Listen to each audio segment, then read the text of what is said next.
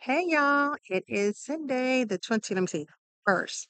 Got Maxine, you guys look, she got a haircut Friday. My husband got her this short, short cut because he don't want to deal with her hair. Stop it, Maxine. Anyway, so today's been a good day for me, guys. Um, okay, Friday wasn't such a great day. Saturday was, hmm, I had to take pain pill last night. But today's been a good day. Went to church, had an amazing service, you guys. We actually have an evangelist, evangelist, I think his name was Savala. And um, so we got out of church early and I'm just and I decided to come outside and make a video because it's beautiful outside. It's sort of cold to me. It's probably really not cold because I think looking at the yeah, I don't know. It seems like it's sorry, you guys. I think it's like 57 degrees, but I'm always cold, so don't don't you know trust me about how cold it is. Because my husband said it's beautiful, and I'm like it's freezing. I need my heating blanket. But so tomorrow, you guys, is my last full day, and then Tuesday is my last day, and I get up at one o'clock. So tomorrow, my boss want to have a going away lunch or whatever for me at the job. So we're gonna do that because, you know, Tuesday I live at one. So once everybody take their lunch break and they get back, I can just sign out and clock out for the last time. That is bittersweet. I mean, I'm just tired and I'm in pain a lot. And so I think it's time to take care of myself. I've been dealing with this cancer stuff for about a year and a half now, doing treatments and everything and going to work.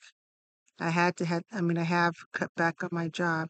It's funny, you guys, because when I first started that job, it was September 17th, 2020,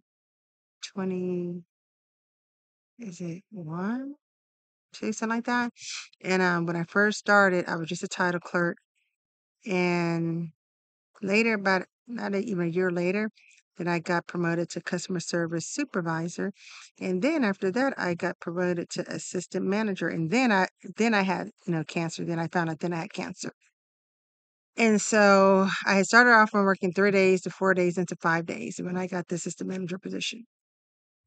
But it was just hard to do the five days.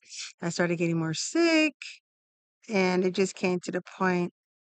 I think I hadn't even done a job for maybe two, three months, if that. You know, 'cause I was doing it before I even got the position, the title. But I just, you know, explained to my boss, I can't do that. I'm exhausted. And so I went down to my old job because she hadn't put anybody in my old position yet. So I went back to customer service supervisor, and then she hired some other girl that she knows to come in and be the assistant manager. So, as I said, it's been bittersweet. I've been through the chain of command. Did not make the manager. To be honest, I would not want to be a manager at the DMV because that's a whole mm-hmm. lot of always being there all the time and everything's, you know, solely on you. And I'm to the point where I just want to enjoy my life. I don't want to spend all my time inside, like working inside. Yeah, you need money to work, but I figure I got enough money, you know, like work to get the bills paid off. That's awesome.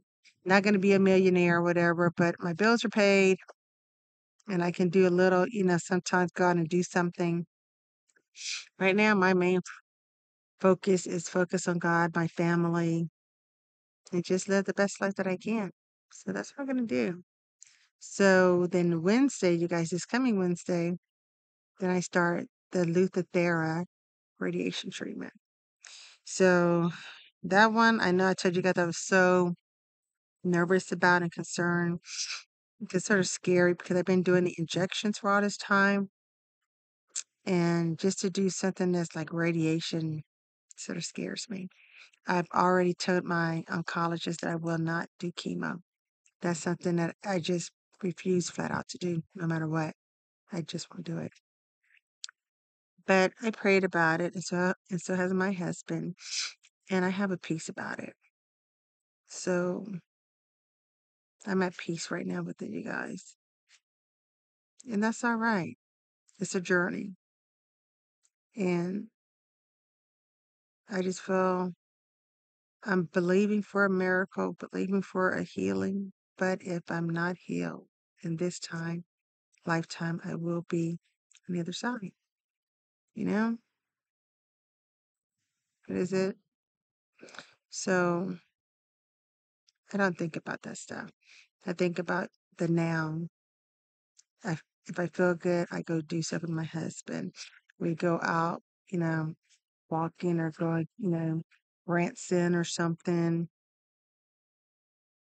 nature walks, you know, you know, while I can. So I do have my, I have two of my daughters that's going to be visiting in a couple of weeks. So they'll be here, I think exactly almost two weeks after my first treatment with the radiation.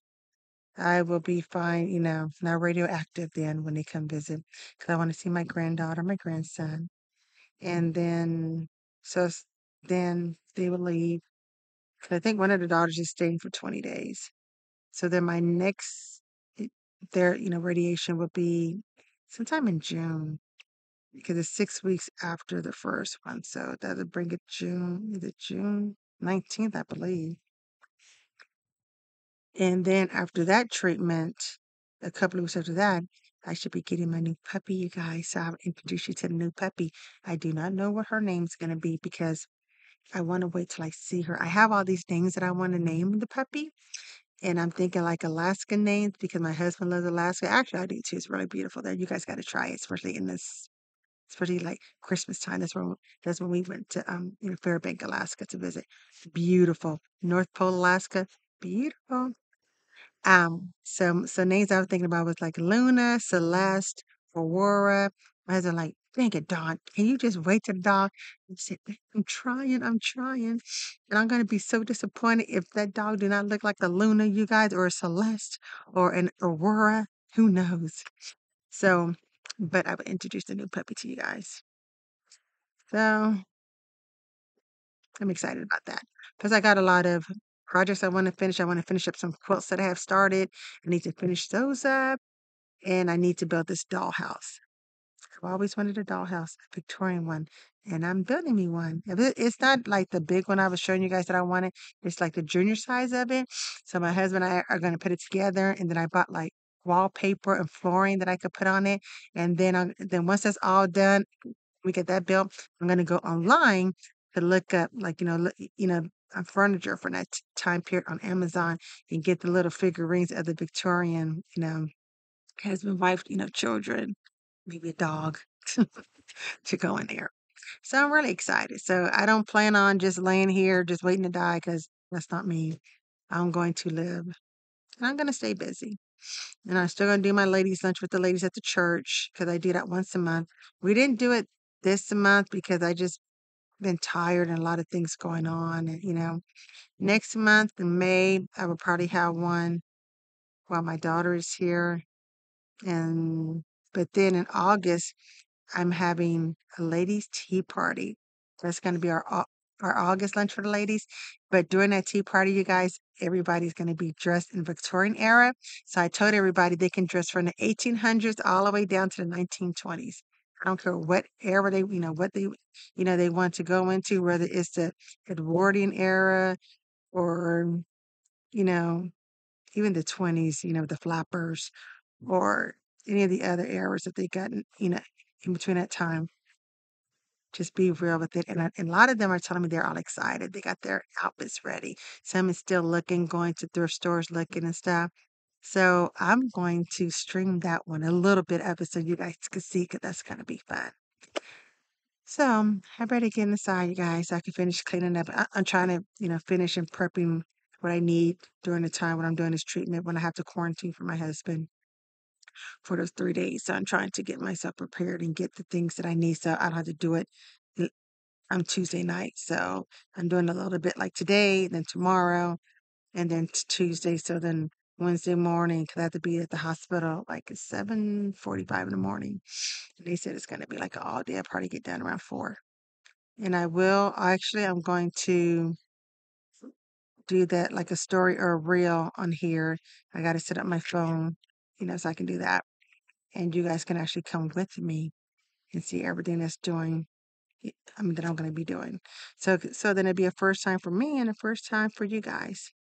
So I see you guys later, and y'all have a blessed evening, and I'll see you guys Wednesday.